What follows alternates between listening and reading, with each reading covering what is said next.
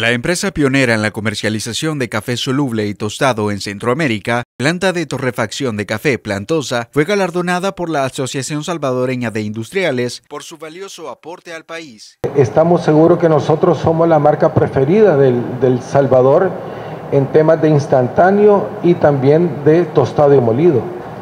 Lo que una empresa visualiza en el futuro simplemente son esperanzas, pero cuando llega entonces esa realidad se hace presente.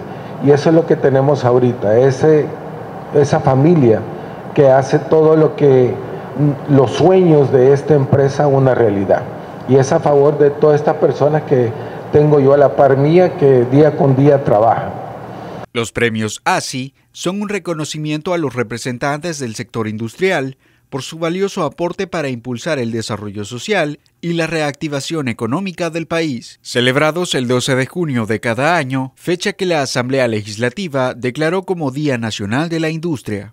Sí, sí nos sentimos todos, toda la, toda la empresa, estamos muy satisfechos, estamos muy orgullosos de este reconocimiento y obviamente después de esto viene un compromiso, viene un compromiso con estar a la altura de la industria en El Salvador, Plantosa es familia. Esta empresa es eso, la filosofía de la empresa es que todos somos una familia y por eso es que tenemos dentro de la filosofía Plantosa es café, es familia. En la búsqueda por mejorar la productividad de sus marcas, Coscafé, Aroma y Doreña, Plantosa con más de 28 años de experiencia en el rubro, busca competir con mercados internacionales y dar a conocer un café hecho en El Salvador.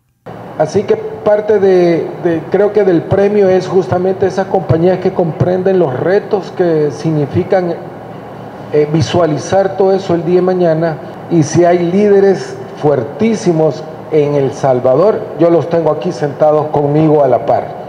Así que más que bendecido por estar con todos ellos para que esta empresa siempre siga adelante y espero también que las otras empresas tengan sus propios liderazgos y líderes con fortaleza para que El Salvador pueda salir adelante en estos tiempos.